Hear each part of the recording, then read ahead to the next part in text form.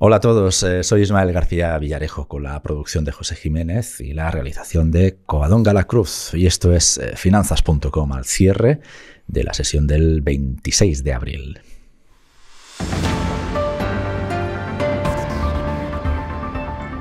Inversores, muy bienvenidos.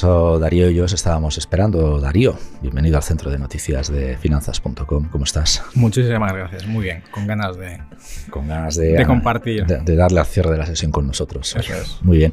Darío García es analista en XTV. Eh, Darío, hemos visto hoy bueno, pérdidas eh, intensas. ¿no? Aún así, el IBEX 35 es de los, nuevamente, lo comentábamos antes a micro cerrado, es de, las, de los índices que mejor se comportan entre sus pares. Eh, parece ser que esta particularidad de esta composición tan particular que parece que se nos quedaba desfasada hace unos meses, pues ahora está jugando está jugando a favor. Aún así, hay dos grandes perdedores de la sesión, se llaman Farmamar y Banco Santander. Nos llama la atención Banco, Santander porque hoy ha presentado resultados, pero caídas de, hasta el 6,66% que hemos visto lo más profundo, eh, al menos en finanzas.com, creemos que tiene poco que ver con unos resultados que han sido ampliamente superados por las previsiones que manejaban distintas casas de análisis, entre ellas la nuestra, entre ellas las de finanzas.com. ¿Cuál es el análisis que hacéis? Que hacéis? Empezamos por Banco Santander, si te parece, y luego nos movemos a Farmamar, que sus caídas han sido mayores que las del banco, pero por, por cuestiones de actualidad vamos con, con los de Ana Botín. ¿A qué se debe este castigo tan intenso con unos resultados claramente mejor a los esperados? Pues desde el punto de vista fundamental no podríamos encontrar en principio algo que justifique esta gran caída. Lo que comentábamos a micro cerrado es cierto que prácticamente todos los parámetros fundamentales publicados han sido incluso mejor de los que el mercado esperaba, pero el único que podríamos destacar que podría no cumplirse es el de impagados, los, préstamos impagados, que son aquellos préstamos de dudoso cobro a partir de 90 días, para aquellos que nos escuchen y entiendan el concepto ha sido muy ligeramente superior a lo que el mercado esperaba, pero es que tiene toda la lógica. De hecho, los bancos durante estos dos años han alcanzado unos niveles de impagados de mínimos históricos, porque no ha habido una actividad de préstamo bancario, no ha habido ni siquiera una actividad que nos permita ni siquiera salir a la calle. Y una vez que esto se ha recuperado, ha vuelto otra vez el crédito a fluir con determinadas limitaciones o incluso con más restricciones por parte de los bancos para que ellos mismos puedan controlar estos parámetros desde el punto de vista de, los riesgos, pues bueno, ha sido ligeramente superior. Sería lo único que podríamos destacar que pudiera justificar una corrección, pero puede que probablemente las revisiones de las grandes casas de inversión y de análisis, como puede ser el caso de Citi ayer, que publicó una revisión a la baja del Banco Santander reduciendo el precio objetivo de, la entidad Ana Patricia Botín, pues puede que haya tenido algo que ver. Pero también sumado a un contexto donde hoy, en esta segunda jornada de, esta semana, está habiendo unas correcciones muy fuertes, tanto una continuidad por parte del mercado europeo como a partir de las tres y media, cuando ha abierto el mercado estadounidense, parece que el sentimiento no ha cambiado, aunque esta semana Tendremos el dato de la publicación de, Estados Unidos de su primer trimestre del Producto Interior Bruto, con una estimación del 1,1% de crecimiento y aunque las revisiones en general están viéndose modificadas a la baja en términos generales, porque estamos viendo que la inflación eh, está generando unos prejuicios muy importantes en todo lo que es la cadena de crecimiento y de producción económica que parte desde la base, desde el sector primario, desde el sector agrario hasta el intermediario, el industrial y por supuesto el sector servicios o el, a nivel de consumidor, donde los productores han sido los principales damnificados, que han tenido que ajustar sus márgenes hasta que ya no han podido hacerlo y han repercutido esos precios. Entonces, que veamos un contexto negativo donde empecemos a ver reducido el crecimiento y una expectativa que ya el mercado está empezando a descontar de que la reducción del balance estructural de la, del balance de la Reserva Federal por importe de 95.000 millones de dólares mensuales durante este trimestre que tendrá efecto inicial a partir de la semana que viene, que se sumará en principio lo que más descuenta el mercado por encima del 95% de probabilidad que haya una subida de 50 puntos básicos, pues está empezando a poner mucho tensionamiento en el mercado donde la reducción de la liquidez a través de estas medidas, pues podría originar que muchos inversores ya estén decantándose a lo largo de esta semana. Es decir, estamos viendo, Darío, que se están cumpliendo los pronósticos que ya se venían avanzando desde hace meses. Eh, a través de algunas plataformas eh, de expresión eh, de, los, de los inversores de que preocupa mucho más la reducción de balance de los, de los bancos centrales que no una posible subida de tipos que se, bueno, se contempla o se aprecia como un signo de normalidad. ¿no?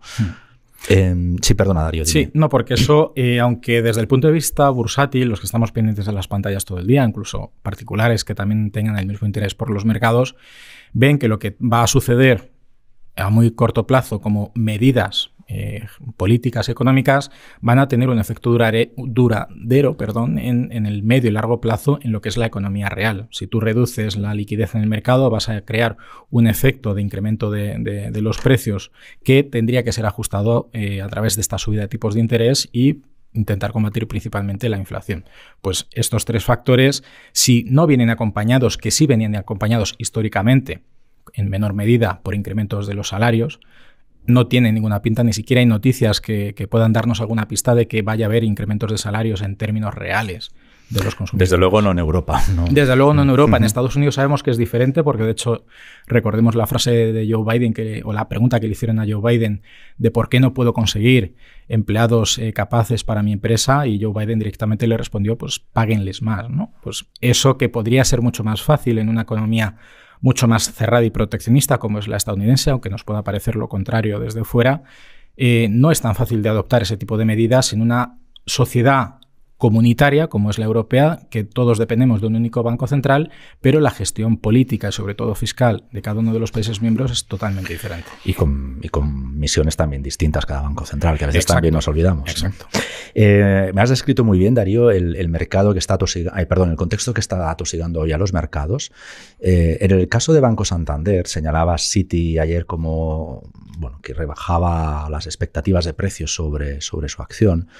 Em, nosotros sí hemos visto una debilidad en los resultados del banco que ha presentado hoy, aunque no esperábamos que tuviera tanto impacto en bolsa. Seguramente eh, se está haciendo eco también del, contexto que nos, que nos acabas de, describir. Aún así, quiero compartirlo con, nuestra audiencia. En, Brasil hemos visto un pinchazo claro donde los costes se han disparado, se han disparado un 14%, que esto es Cierto. relativamente lineal a lo que comentabas, a la inflación, ¿no? Y al final allí el beneficio neto bajó el, el 1%. Hace unos días, no sé si pudiste leerlo, publicábamos un informe en finanzas.com sobre la estanflación, ya es oficial en Brasil, y mostrábamos nuestra preocupación por el impacto que la estanflación pueda tener tanto en Banco Santander como, como en BBVA. Parece que estamos viendo, empezando a ver los primeros síntomas de una traducción clara en cuenta, en cascada de resultados, ¿no? en cascada de datos. ¿Cuál es, vuestro, cuál es vuestra opinión sobre, sobre el impacto o qué, qué perspectivas tenéis sobre un posible impacto de la estanflación dentro de Banco Santander? Dicho de otro modo, ¿Creéis que será el banco capaz de controlar esta situación allí en sus, en sus mercados, en sus filiales? Pues Debería poder hacerlo. De hecho, históricamente los bancos, uno de los principales riesgos cuando está eh, deslocalizado en, países internacionales con gestión o divisas diferentes es intentar cubrir en la medida de lo posible, en base a sus análisis de pronósticos y evolución de los tipos de interés, tanto de tu país, que es con el que consolidas los resultados, como en el país destino donde tienes un negocio, como pueda ser Brasil, México o el Reino Unido, es prever a través de diferentes instrumentos derivados cuál va a ser el tipo de cambio dentro de un trimestre, dentro de dos trimestres o el objetivo anual. Por eso, cuando he comentado antes que el único riesgo aparente o el dato negativo aparente era el tema de los NPLs, es porque realmente los bancos son muy cuidadosos a la hora de reducir los riesgos de, divisa o el riesgo de tipos de interés, que es lo que afecta a sus resultados. El caso de Brasil es que ha visto incrementado el, o se ha apreciado su divisa, el real brasileño, fruto de las exportaciones de materias primas agrícolas. Recordemos que Brasil es uno de los principales países productores de soja, prácticamente al nivel de China, incluso creo que en algunos periodos incluso superior, siendo exportadora China de esta materia prima agrícola.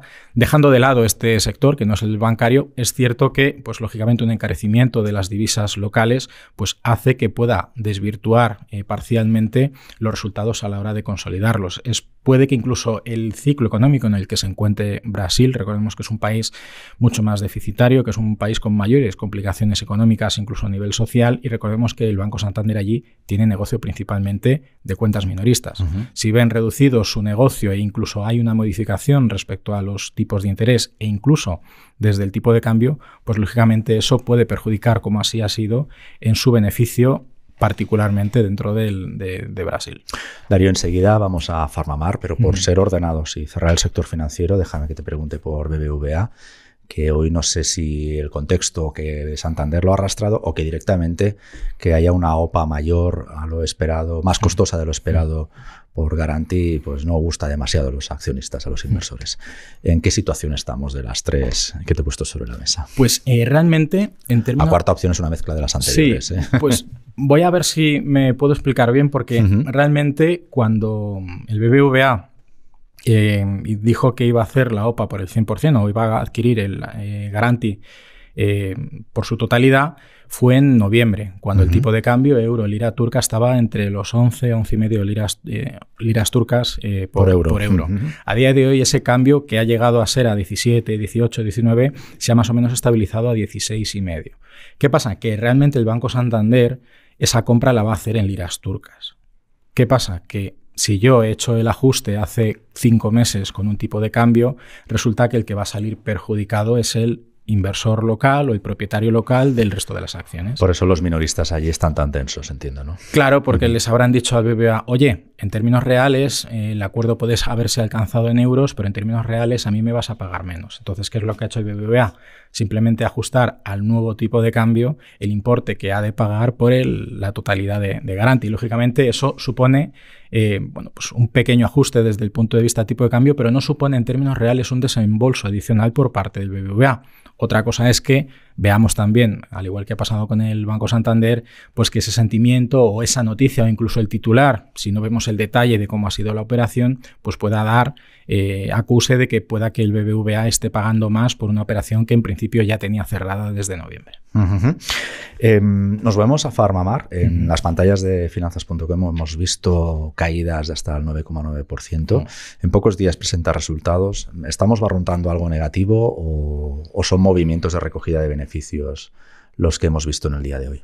Pues pueden ser muchos factores, desde que el mercado estime que los resultados no van a ser los satisfactorios que pudieran ser, por otro lado, la compañía ha desarrollado un comportamiento técnico muy positivo prácticamente durante estos dos, tres meses y puede que estemos ante una recogida de beneficios que esté combinada con esa expectativa de publicación de resultados. Hemos visto estas últimas dos semanas, concretamente, tras romper zonas de resistencia, desde el punto de vista técnico, una consolidación que no ha mantenido la constancia en las subidas y ante el desgaste por parte de los compradores a intentar apoyar mayores subidas en el valor, pues finalmente acaban claudicando y los vendedores acaban haciéndose con el comportamiento de la acción. Esto es algo particular porque la negociación de ayer, de hecho, inicialmente fue muy negativa, acabó cerrando incluso en máximos de, de la sesión, que no fue una volatilidad muy amplia tampoco que digamos, y puede que hoy simplemente estemos eh, acusando también parte de lo que es el sentimiento general del mercado. Em, estamos con inversores, estamos con, con, Darío, García, que es, que es analista de, de XTB. Eh, Darío, antes de cerrar el episodio, no me gustaría que nos levantáramos, nos fuéramos del estudio sin, compartir nuestras impresiones sobre lo que está sucediendo en, Pekín. Sí que es verdad que el riesgo se ha atenuado durante el martes, pero existe todavía de que 25 millones de personas acaben eh, en confinamiento en, la capital de China. Y luego veíamos nuestros compañeros de, Bloomberg eh, compartían unas imágenes por satélite muy curiosas de todos los, transportes de contenedores, que había más de 500 eh, allí, bueno, pues no sé, no sé si decir atascados, pero bueno, como mínimo allí fondeados en la bahía de Shanghái, ¿verdad? Em, este riesgo que parecía que aquí también por el efecto mascarilla estamos empezando a olvidarlo, lo continuamos teniendo en el mapa de riesgos, valga la redundancia, Darío, al menos vosotros lo continuáis considerando como una amenaza real. Me refiero evidentemente a, coronavirus y concretamente a Omicron y sus BA, B4, B5 y no sé por cuál mal ya, subvariantes, quiero decir. Bueno, yo, desde mi punto de vista, eh, creo que hace dos años veíamos en las pantallas de nuestros televisores determinadas acciones por parte del gobierno chino que nos parecían incluso contra los propios derechos humanos, intentando contener una situación que allí era crítica, pero aquí nos era totalmente ajena. Creo que no sé si estamos ante una misma o una, una situación muy similar, pero sí es cierto que creo que eh, se han detectado nuevos casos, han visto que puede que esa sea la medida más extrema, pero también la más fiable, dado que impide prácticamente el contacto eh, humano entre, entre personas, estén contagiados o no estén contagiados.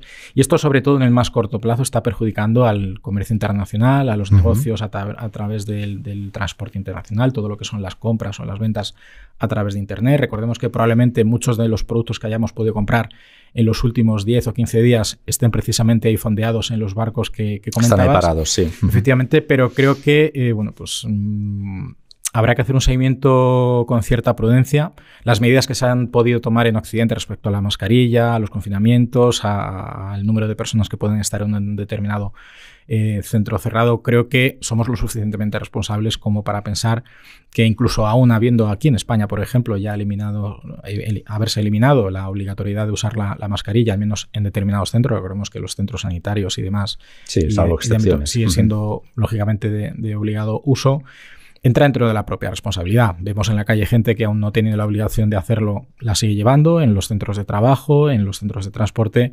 Y bueno, pues creo que esto lógicamente va o podría lastrar en, para el segundo trimestre, sobre todo probablemente desde el punto de vista económico, el desarrollo de, China, pero creo que son suficientemente eh, estrictos como para incluso mm, arriesgar o sacrificar un periodo temporal de tiempo por un largo plazo mucho más estable, que es el que hemos vivido a lo mejor quizá durante este último año, aunque hayamos tenido que seguir usando mascarilla y demás.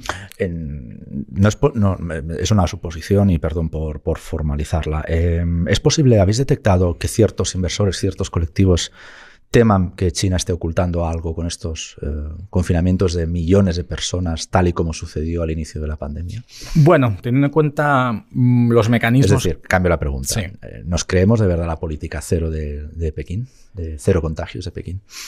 Yo creo que incluso desde un punto de vista estadístico, cuando hablamos de posibilidad o probabilidad, creo que la posibilidad de que no haya contagios es cero, o sea, es inexistente. La probabilidad de que estén intentando contenerlo en la mayoría, en, la mejor medida, pues ahí lo creo más alto, pero como ya sabemos normalmente el gobierno de Xi Jinping, desde el punto de vista internacional, podemos poner en duda muchas de las publicaciones macroeconómicas que pueden influir, o bien desde el Banco Popular de China, fruto del propio mandato del gobierno popular, pero sí creo que, bueno, pues en este caso no deberíamos mm, coger eh, con los brazos abiertos y, con toda la fiabilidad los datos que nos puedan aportar, pero está claro que las imágenes internacionales, las protestas que estamos viendo en China incluso, eh, podrían simplemente hacernos pensar lo suficiente y reflexionar como para considerar que, aunque estas medidas pueden ser muy eficaces, no son el 100% eficaces que ellos mismos nos están diciendo desde los medios oficiales o desde, desde los comunicados oficiales. Darío, muchísimas gracias eh, por hacer podcasting esta tarde y si te apetece, cerramos la sesión. Por supuesto, será un placer. gracias y hasta la próxima. Igualmente. Y a vosotros, amigos inversores, recordad que mañana Alejandro Ramírez, eh, con sus hechos relevantes, eh, estará disponible a las 7 y media de la mañana para abrir la sesión. Nosotros nos vemos al cierre. Gracias como siempre por el privilegio de vuestro tiempo.